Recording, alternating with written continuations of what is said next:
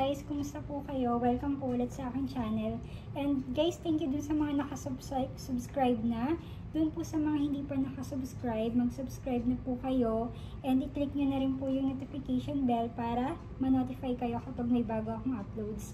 So anyway guys, um, today is the first day of my keto diet. And napag-isipan ko na i-upload na lang yung mga daily meals and daily meals and preparation ko kasi yung mga gustong makisabay or kung hindi man kasabay ko right now is they will do it a bit later. Meron na silang idea kung ano yung mga kinakain ng isang nagkiketo diet.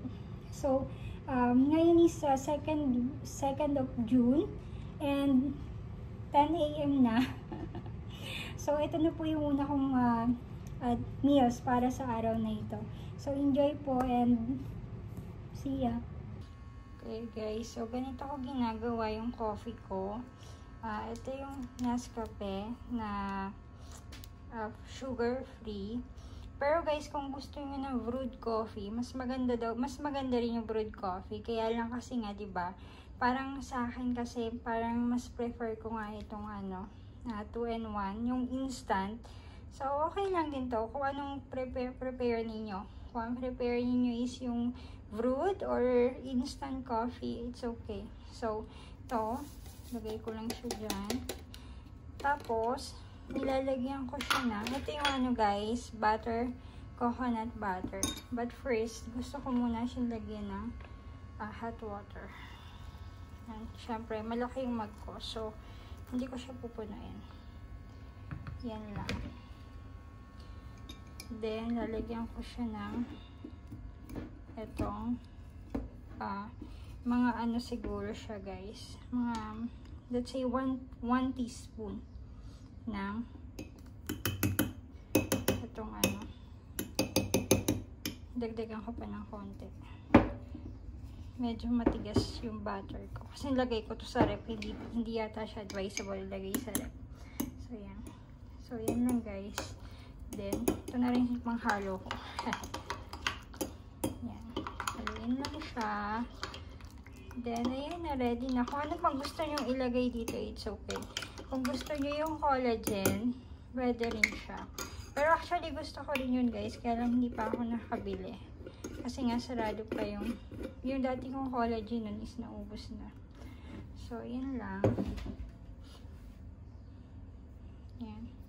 So, that's how I make my coffee, guys guys, ito ang aking breakfast. Hindi ko na pinakita sa inyo yung preparation niya kasi madali lang naman siya, ba? So, mag-slice ka lang ng cucumber, kalahating half of the cucumber, kalahati nung kasi masyado namang malaki yung kumbaga marami kung i ikakainin ko lahat. So, hati lang siya, kalahating tomatoes, kalahating cucumber, yung orange ko, and then dalawang eggs, and yung feta cheese.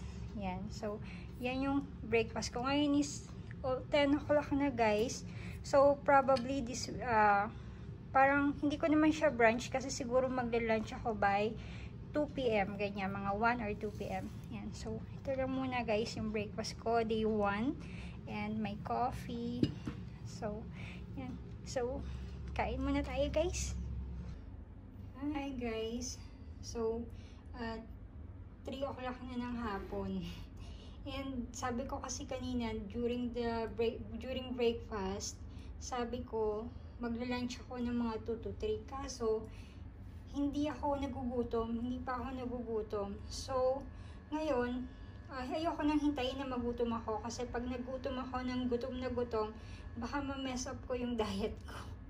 So, ngayon, mag-snacks ako. Ang snacks ko is ito, mag-green tea ako, yan.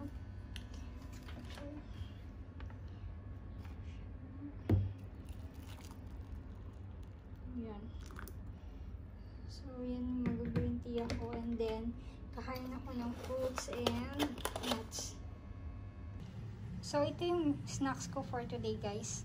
Uh, kalahati ng orange. Ito yung kalahati kanina nung uh, kinain ko ng breakfast. So, yung kalahati kakainin ko now. And then, itong walnuts. Ang per serving ng walnuts, guys, is 12 to 14 pieces siya ng ganito. Um, And it per serving is contains of uh, 18.5 grams of fats. O, diba? Ma, ma in fats talaga ang mga nuts. And also, ditong pecan nuts, ang per serving nito, guys, is 20, approximately 20 pieces ng hubs din. Just like this. And it contains of 20.4 grams of fats per serving. So, ito, kalahati lang yung kinuha ko and then kalahating uh, pecan nuts. So, one serving of nuts na rin siya. and itong aking uh, tea. So, ayan guys, ang snacks ko. So, okay. Hi guys, so it's dinner time.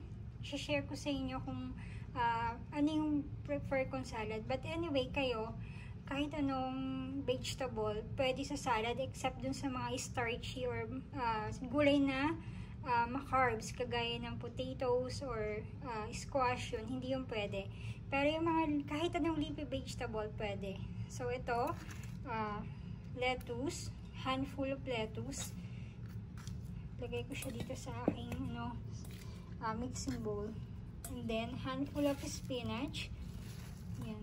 So, it doesn't matter guys, kung meron kayong girgir or yung ruka, it's okay din. Kahit anong vegetable, green leafy vegetable is pwede sa keto diet. And ito yung kalahati guys nung um, nung uh, cucumber na kinain ko kaninang breakfast. So, ito yung kalahati niya. Kakainin ko siya ngayon. So, ito rin. There. Goes into my mixing bowl. And also, itong aking tomatoes. Yan. Just put all together. Yan. Okay. So, ayan na siya. And then, itong lemon juice. Lemon juice. Tapos, ito guys is ano ko na to. Um, half teaspoon of salt. Half, not half, maybe 1 4 teaspoon of salt and 1 teaspoon of uh, bell, uh, black pepper. So, timplahin ko naman. Ito yung pinaka-dressing niya kasi guys. Yan. And then,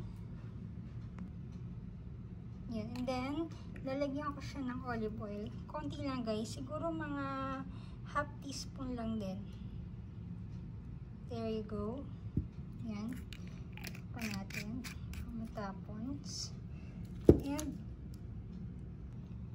okay. So, ayan na siya guys. Then, imimix lang natin siya i-stir lang natin siya hanggang sa matunaw yung um, salt and maghalo-halo yung lahat ng ano niya, ingredients.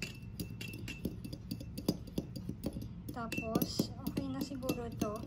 And then, depende sa taste niyo kung kulang yung alat, lagyan nyo pa ng asin. Okay, kung ayaw nyo ng maraming paminta, di bawasan nyo yung paminta. Simple as that. Hmm. Para sa akin, perfect na siya. And then, buhos na siya dun sa ano. Yan. Hmm, meron pa. Yan. So, that's it. Tapos, meron din ako ditong olives pala. Nakalimutan ko itong ipakita sa inyo nung ano, nung mag-grocery haul ako. Pero mura lang naman siya. 390 siya. 390 lang siya. Yan.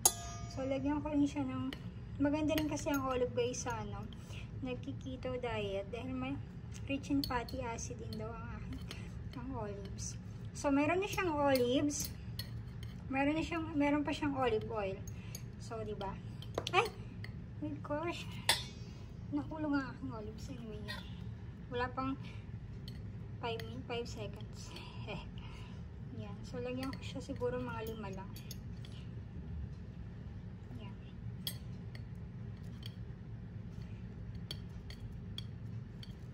Hmm. Ayaw nyo makuha. Bakit? Anyway, tama na siya. Then, i-mix nyo na siya, guys. Ganun lang. Ito na yung ano ko. Yun yung salad ko for today. So, guys, ito yung dinner ko ngayon. Ito yung ginawa nating salad kanina. And piritong tilapia. And tortang talong uh, giniluto ko siya kagabi. So, yan. And, of course, water. Hindi pwede guys uminom ng ah, anything na matamis ah, or soda. Something like that. Pag nagkikito.